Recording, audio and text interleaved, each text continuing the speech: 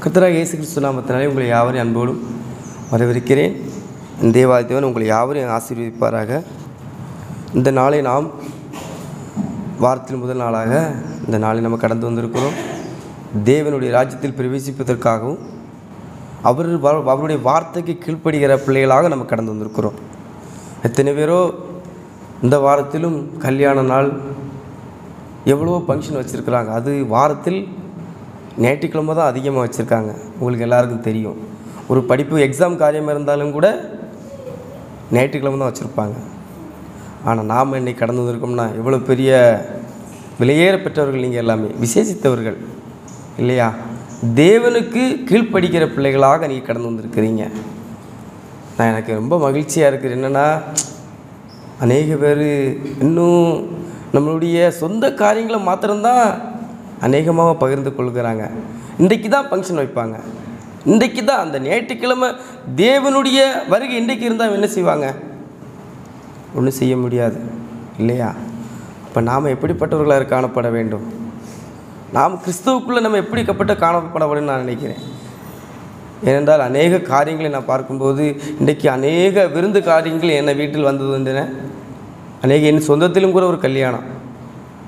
என்னுடைய மனைவியோட குடும்பத்தில். அது கூட என்னால் போக முடியல. அவர் ரொம்ப பிடிச்சி என்னை பிடிச்சி வச்சக்கூடியவர் எதுக்கு சொல்ல வரோம்னா உலகம் அப்படி இருக்கிறது. அதற்காக தான் அந்த வார்த்தையை நான் உங்கள்கிட்ட சொல்லுகிறேன். நாம் அப்படி இருக்கக்கூடாது. நீங்கள் கிறிஸ்துவ தரித்திருக்கீங்க. ஞானஸ்தானம் எடுத்திருக்கீங்க. எப்படி சொல்லி ஞானஸ்தானம் எடுத்தீங்க நீங்கள் எல்லாருமே? அவர் மெய்யான தேவன். அவர் நமக்காக பாடுகள் பட்டார் அவர் அடிக்கப்பட்டார். அப்போ நாம் பயத்தோடும் நடுக்கத்தோடும் அவரை தொழுது கொள்ள தேவையில்லையா? நாம் எவ்வளோ அன்பாக இருக்க வேண்டும் எவ்வளோ பக்தியாக இருக்க வேண்டும். பாருங்கள் ஒரு ஹிந்துவை பாருங்களா அவன் ரொம்ப பக்தியாக இருப்பான். அவன் அந்த க கரெக்டாக அவன் காலையில் அதிகாலை பாருங்கள் அதிகாலை மூணு மணிக்கு எழும்பி அவன் குளித்து அவன் பிள்ளைகள் குளித்து எல்லாம் எடுத்து அதிகாலை அஞ்சு மணிக்கு முன்னே அவன் ஆராதிச்சுட்டு இங்கே வந்துடுவான் அவன் விக்கிரகத்துக்கு அவ்வளோ முக்கியத்துவம் கொடுக்குற நாம் ஜீவனுள்ள தேவனை தேடிக்கொண்டு இருக்கிறோம். எவ்வளோ முக்கியத்துவம் கொடுக்கணும் அல்லவா?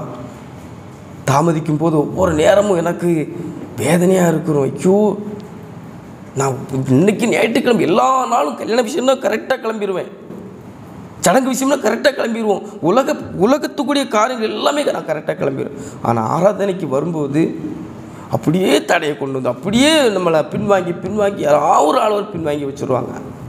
நாம் அப்படி இல்லை. நாம் எல்லாரும் ஜீவனை இயேசு கிறிஸ்து நமக்கு ஜீவனை தந்திருக்கிறார். நாம் கிறிஸ்தவர்களாக இருக்கிறோம். நாம் எப்படிப்பட்டவர்களா? நம்ம நம்ம பொய் சொல்லக்கூடாது க களவு செய்யக்கூடாது பாவம் செய்யக்கூடாது. எந்த இதுக்குமே நாம் ஈடுபடக்கூடாது. உலகத்தாராக இருக்கக்கூடாது அதை போல் நான் இன்னைக்கு நம்ம எப்படி பிழைக்க வேண்டும்? நாம் எப்படி பிழைத்திருக்க முடியும்? பிழைக்கிறது என்ன வழி தான் இந்த வழி? இப்போது அநேக காரியங்கள் வரும். ஐயோ என் மகளுக்கு இப்படி இருக்குது என் மகனுக்கு இப்படி இருக்குது என் பிள்ளைக்கு இப்படி இருக்குது என் புருஷனுக்கு இப்படி இருக்குது. என் கணவனுக்கு இப்படி இருக்கிறது. நான் இது எப்படி நான் கொண்டு செல்ல முடியும்? நான் இவங்களை எப்படி நடத்து நான் எப்படி பிழைப்பது இவங்களை கொண்டு? நான் எப்படி நான் இவங்க ராஜ்யத்தில் சேர்ப்பது? தேவனுடைய ராஜ்யத்தில் நான் எப்படி இவர்களை சேர்ப்பது என்று ஒவ்வொரு கேள்விகள் இருக்க தான் செய்யும். எப்படி சேர்க்க வேண்டும்? யோவான் உங்கள் வேதத்தை திருப்பிக் கொள்ளுங்கள். யோவான் ஆறு ஐம்பத்தி ஏழை வாசிக்க கேட்போம். ஜீவனுள்ள பிதா என்னை நான் பிதாவினால் பிழைத்திருக்கிறது போலவும் என்னை புசிக்கிறவனும் என்னாலே பிழைப்பான். என்னை புசிக்கிறவனும் என்னாலே பிழைப்பான் இல்லையா? எதை புசிக்க சொல்லிக்கிறார்? ஜீவனுள்ள பிதா என்னை அனுப்பினது போலவும் நான் பிதாவினால் பிழைத்திருக்கிறது போலவும் என்னை புசிக்கிறவனும் என்னாலே பிழைப்பான் என்று எழுதப்பட்டிருக்கிறது. அழகான வார்த்தை இல்லையா? நாம் ஞானஸ்தானம் எடுத்து அவருக்கு அகப்போ ரசிக்கப்பட்டு இன்றைக்கு அவருக்கு கீழ்ப்படுகிற பிள்ளைகளாக நாம் வரும்பளவும் இதை நினைவு கூறுங்கள் சொன்ன வார்த்தைக்கு கீழ்ப்படிந்து நாம் வந்திருக்கிறோம். எத்தனை வாரமாக நம்ம தடைப்பட்டிருக்கிறோம். எத்தனை வாரம் அந்த பந்தியில் நம்ம மிஸ் பண்ணியிருக்கிறோம். அது உலக காரியமாக நம்ம எவ்வளோ காரியம் போயிருக்கிறோம். படிப்பு காரியமாக எவ்வளோ காரியம் போயிருக்கிறோம். கழிந்த வாரத்தில் கழிந்த வாரம் தான் நினைக்கிறேன். ஆமாம் ஒரு கல்யாணத்துக்காக அந்த பிரதர் வந்தாங்க. அந்த மனைவிங்க நமக்கு மெசேஜ் கொடுத்தாங்க. பார்த்தீங்களா அவங்க எவ்வளோ முக்கியத்துவம் கொடுத்தாங்க இல்லையா? எவ்வளோ பெரிய காரியம். அப்போ தேவனுக்கு முதலிடம் கல்யாணம் இருக்கட்டும். எவ்வளோ சொந்தக்காரனாக இருக்கட்டும். கர்த்தருக்கு இயேசு கிறிஸ்துவுக்கு நாம் கிறிஸ்துவை தரித்திருக்கிறோம். கிறிஸ்துவுக்கு முதலிடம் கொடுக்க வேண்டும். அதுதான் நம்மளுடைய நோக்கமாக இருக்க வேண்டும். அதுதான் நம்மளுடைய வழியாக இருக்க வேண்டும். என்ன வேலையாக இருக்கட்டும் நாம் அவர் இல்லைன்னா நமக்கு ஒன்றுமே செய்ய முடியாது. அவரால் நமக்கு எல்லாம் செய்ய முடியும். அப்போ நாம் விசுவாசித்தோம்னா கண்டிப்பாக பிழைக்க இந்த வழி வந்து வாசல் நமக்கு திறந்து தருவார். இன்னொரு வசனத்தையும் அது அப்போ ஐம்பத்தெட்டையும் வாசிப்போம். கீழ் உள்ள வசனத்தையும். இது உங்கள் பிதாக்கள் புசித்த மன்னாவை போல் அல்ல அவர்கள் மறித்தார்களே இந்த அப்பத்தை புசிக்கிறவனோ வானத்தில் இறங்கின அப்பம் இது இதுவே. இது உங்கள் உங்கள் பிதாக்கள் புசித்த மன்னாவை போல அல்ல. அவர்கள் மரித்தார்களே. அவர்கள் மரித்து விட்டார்கள் இந்த அப்பத்தை புசிக்கிறவன் என்றென்றைக்கும் பிழைப்பான் என்று எழுதியிருக்கிறது. அவருடைய மாம்சத்தை. அவர் நமக்கு என்ன நினைவு கூறும்படி இதை இதை நீங்கள் தவற விடாமல் நான் வருமளவும் நீங்கள் இதை விட்டு விடாதபடிக்கு கண்டிப்பாக அதை பங்கு பெறுனாக சொல்கிறாரு இந்த பந்தியை விட்டு விடாதீங்க என்னென்றால் அவர் நம்ம வேதத்தின் மூலமாக நம்மளை கேள்வி கேட்பார். இந்த வசனத்தின் மூலமாக தான் உங்கள்கிட்ட கேள்வி கேட்பாங்க. நான் இப்படி எழுதியிருக்கிறேனே. உங்களுக்கு நான் கற்பித்து எவ்வளவோ கற்பித்து தந்திருக்கிறேன். எத்தனை ஊழியக்காரன் போல நான் உங்களுக்கு கற்பித்து தந்திருக்கிறேன். நமது ஊழியக்காரர் எவ்வளோ வசனம் சொல்லி கொடுத்துருக்கா தெரியுமா? எனக்கெல்லாம் பெருமையாக இருக்கு அவர் நினைக்கும் போதெல்லாம். நிஜமாக சொல்கிறேன் எல்லாருக்குமே அவரை பற்றி எனக்கு நல்லா தெரியும். வசனத்து மூலம் தான் பேசுவார். சிலருக்கு பிடிக்கும் சிலருக்கு பிடிக்காது. எனக்கு அது தேவையில்லை. அவருடைய வேலையை அவர் செய்கிறாரு அவருக்கு கொடுத்த ஊழி அவர் அவர் செய்கிறாரு ஆனால் வசனம் கிடைக்கும் போது எவ்வளோ மகிழ்ச்சியாக இருக்குது அப்போ நாம் அதை கடைபிடிக்கணும் இல்லையா? நாம் எப்படி பிழைக்க முடியும்? வசனம் இல்லைன்னா பிழைக்க முடியாது. கொஞ்ச காலம் நல்லா இருக்கும். கொஞ்ச நாளுக்கு நல்லா இருக்கும். பரவாயில்ல. நமக்கு இன்னைக்கு நல்ல ஆகாரம் கிடச்சிருக்கு. இன்றைக்கி ஆண்டவர் நமக்கு பிழைப்பு விட்டுகிறார் அந்த நாள் தான் நம்ம ஞாயிற்றுக்கிழமை தான் இறைச்சி எடுத்தியப்பா இன்றைக்கி இந்த சடங்கு வச்சா நல்லா இருக்குமா? அப்படிங்கிற பெண்கள் கேட்பாங்க. நிஜமாக சொல்கிறேனே இந்த காரியம் வச்சா எப்படி இருக்கும் இந்த அது இந்த வாரம் தான் நல்ல நாள். ஒன்றாந்தேதி இன்றைக்கி ஒன்றாந்தேதி தெரியுமா? இன்னைக்கு ரெண்டாந்தேதி தெரியுமா? இந்த வார்த்தை நமக்கு உள்ள எல்லா நாளும் நல்ல நாள். எல்லா தேவனுடைய நாளும் நல்ல நாட்கள் தான். அதில் நியாயப்பிரமாணத்தை கொண்டு வரக்கூடாது. இது கிருபின் காலம். கிறிஸ்து நமக்காக அடிக்கப்பட்ட கால நாட்கள் இது. இந்த பந்தியும் நமக்கு இன்றைக்கி தந்திருக்காருன்னா நாம் எவ்வளோ விசேஷித்தவர்கள்? இதில் அநேக பேர் பங்கு பெறுகிறது இல்லை அநேக பேர் இன்றைக்கும் ஞானசார் நம்ம சபைக்குள்ளே ஞானசாரம் எடுத்து அநேக பேர் வீட்டுக்குள்ளே இருக்கிறாங்க. எவ்வளோ தவறான காரியம். கூடுகை விட்டு விடக்கூடாது. நீங்கள் ஒரு நிமிஷம் கூட தவறும்போது எனது ஊழியக்காரர் உண்மைக்குமே நான் சொல்லட்டுமா? பெருமையாக பேசலை. ரொம்ப தூரம் வேதனைப்படுவார். அலெக்ஸு நீங்கள் ஒருக்கா கூட ஃபோன் பண்ணி பேசுங்க. ஏன் வரலன்னு கேளுங்க. நான் அழுதுருக்கேங்க. மனவேதனையாக இருக்கும். என்னென்ன என்ன நடத்தினவங்க அவங்க தான் நான் இன்னைக்கு இந்த இடத்துல பேசுகிறோம்னா என்னுடைய ஊழியக்காரர் தான். நான் கிறிஸ்துவில் மேன்மைப்படுத்துகிறேன் ஆனால் என்ன நடத்துகிற ஒரு ஆள் வேணும்ல? அது என்னுடைய ஊழியக்காரர். அலெக்ஸ் நீயும் ஒரு வார்த்தை கேட்டுப்பார் நம்ம கிறிஸ்துவை தரித்தவங்க. அது நாம் ரத்தம். என் நம்முடைய ஒரே சரீரம். இந்த அப்பத்தை பிடிக்கும்போது நாம் எல்லாம் ஒரே சரீரமாக இருக்கிறோம் எழுதப்பட்டு இருக்கிறதுங்க இல்லையா? அதானே உண்மை?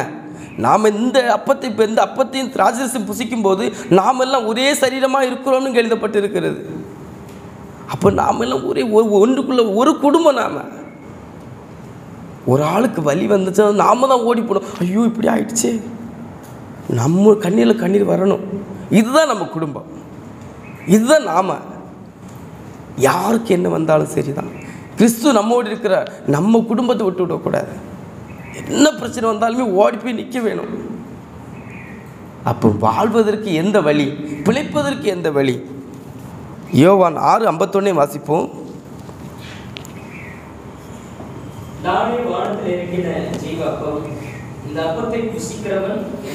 பிழைப்பான். பிழைப்பான்.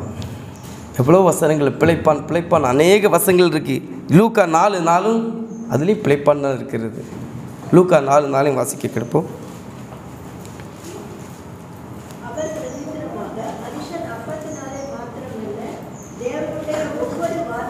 அவருடைய வார்த்தைக்கு கீழ்ப்படி பார்த்தீங்களா? மனுஷன் அப்பத்தினா மாற்றலாம் அவருடைய வார்த்தை.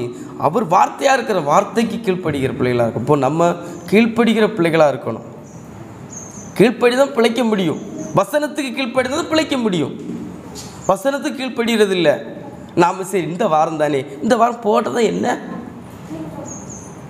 கிறிஸ்து நமக்காக பரிந்து பேசிக்கொண்டு அவர் வரி வருகைக்கு தாமதிக்கிற காரணம் என்ன? நாம தான் அவருடைய வருகை தாமதிக்கிற காரணம் நாம தான் காரணம். நாம் ஒவ்வொரு நாளும் விட்டு விடுற நேரத்தில் அவரும் கொஞ்சம் கொஞ்சமாக ஒதுங்கி ஒதுங்கி ஒதுங்கி ஒதுங்கி என் மகன் வந்துடுவான் என் மகன் வந்துடுவான் என் மனைவி வந்துடுவான் என் பிள்ளைங்க வந்துடும் என் தாத்தா பாட்டி வந்துடுவாங்க எங்கள் அம்மா வந்துடுவாங்க நாம் ஜெபிக்கிற கடமையாக இருக்குது. நீங்கள் நம்ம எல்லாம் கிறிஸ்துவ தெரித்தவங்க அப்போ நாம தான் ஜெபிக்க வேண்டும் உங்களுக்காக. ஐயோ நாங்கள் குடும்பமாக இல்லையே.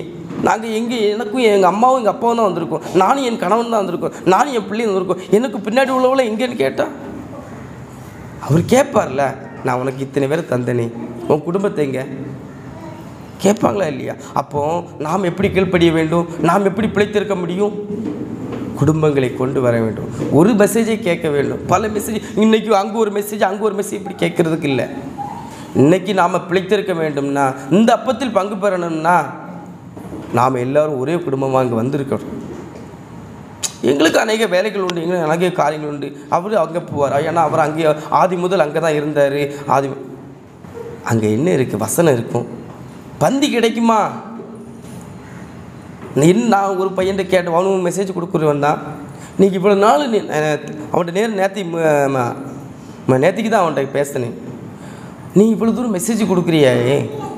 குறிஞ்சீரில் எழுதப்பட்டு இருக்கிறது வாரத்தில் முதல் நாள் இன்றைக்கி நினைவு கூறும்படி இதை செய்யுங்கன்னு இயேசு கிறிஸ்து. நீங்கள் இதை கடைப்பிடிக்கிறீங்களா? மாதத்தில் ஒரு முறை தான் கடைப்பிடிக்கிறீங்க. அது தவறு இல்லையா? அது வசனம் இல்லையா? நீ இதுக்கு ஒரு வசனம் இன்னொரு வசனம் அவங்க எனக்கு சொல்லி கொடுக்குறாங்க. அவன் வேறு மாதிரி வசனம் சொல்லி கொடுக்குறான். எனக்கு அதில் நான் ஒன்று கே எனக்கு மனசு இல்லாமல் தான் இருந்துச்சு. இருந்தாலும் அவன் சொல்கிறது நான் கேட்க நான் என்ன சொல்லுவேன்? வசனம் இங்கே எழுதியிருக்கிறது. வேத வசனத்தை இந்த வசனம் நான் வச்சுருக்கிறேன். நீ இதை தான் படிக்கிற. ஏன் இது மாத்திரம் நீ கடைப்பிடிக்கவில்லை? நியாயப்பிரமாணத்தையே நீங்கள் போட்டு துளிர் குதிச்சுட்டு இருக்கிறீங்க. இயேசு கிறிஸ்து நமக்காக அடித்தார். இயேசு கிறிஸ்து நமக்காக ஜீவனை விட்டார். அவர் என்ன சொல்லியிருக்காருன்னா நான் வருமளவு இதை நினைவு கூறுங்கள் சொல்லியிருக்கிறார். இந்த வார்த்தைக்கு நீங்கள் கீழ்ப்படியவில்லையே. ஐயோ அது நான் தகுதி இல்லாதவன்.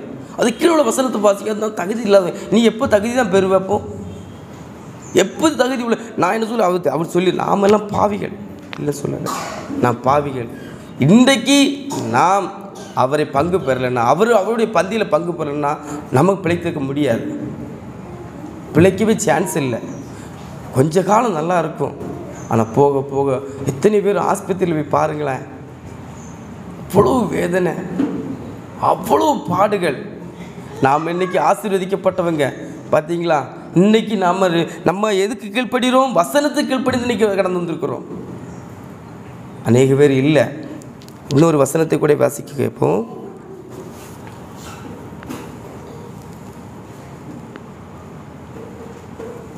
லூக்கா பதிமூணு லூக்கா பதினொன்று பதிமூணு வாசிப்போம்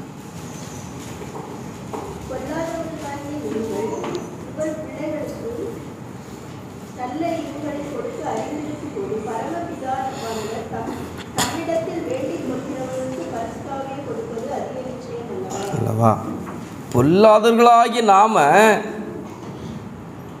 நல்ல ஈவுகளை நம்ம பிள்ளைகளுக்கு கொடுக்க நினைக்கும் போது அப்படின்னு அழகாக இருக்க. பொல்லாதவர்களை நாங்கள் பொல்லாதவர்களை நான் நீங்கள் உங்கள் பிள்ளைகளுக்கு நல்ல ஈவுகளை கொடுக்கும் அறி கொடுக்க அறிந்திருக்கும் போது பரம பிதாவன் நம்மிடத்தில் வேண்டிக் கொள்கிறவர்களுக்கும் பரிசுத்தாவை கொடுப்பது அதிக நிச்சயம் அல்லவா? அப்போ நம்ம பிழைத்திருக்கணும்னா நம்ம இப்போ யார் நம்ம பார்த்தீங்கன்னா நம்ம விஷயத்துக்கு சொந்த விஷயத்துக்கு எவ்வளோ முக்கியத்துவம் கொடுக்குறோம்?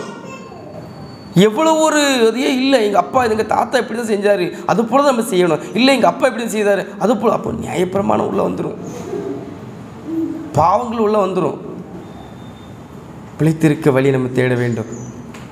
நாம் மற்றவர்களைப் போல இல்லாதபடிக்கு நாம் இந்த கிறிஸ்துவின் சபைக்குள்ளே நம்ம இன்றைக்கு வசனத்தின் மூலம் நடக்கிறோம்னா எவ்வளோ பெரிய பாக்கியவான்கள் நீங்கள் எல்லாருமே. இன்றைக்கு கடந்து வந்திருக்கீங்க. இன்றைக்கு இந்த பந்தியில் கடந்து வந்திருக்கீங்க. எவ்வளோ பெரிய வெளியேற்பட்டவர்கள் நீங்கள் கிறிஸ்து உங்களை ஆசீர்வதிப்பார். இந்த வார்த்தை தேவன் தாமே எங்களை ஆசீர்விப்பார்கள்